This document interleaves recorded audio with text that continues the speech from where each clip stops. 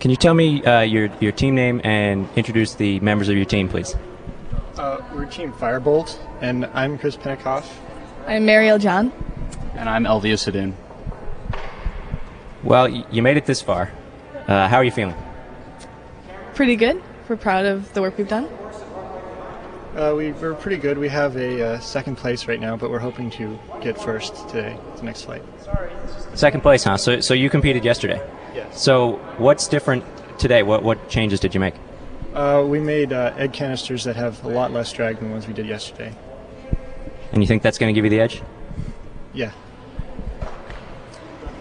What's the most notable design feature of your aircraft? What advantage do you think it gives you? Uh, well, we have an, a really large wingspan, which gives us probably the most lift of any team here.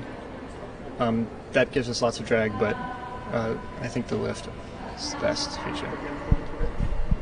You've been working on this project as a team for most of the semester. What's been the most enjoyable part of the process?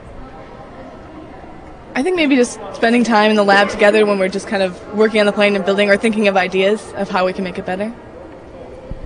Yeah, I mean, it's nice to uh, get a chance to do something hands-on as opposed to, you know, just problem sets and stuff. So, what was toughest about engineering this system?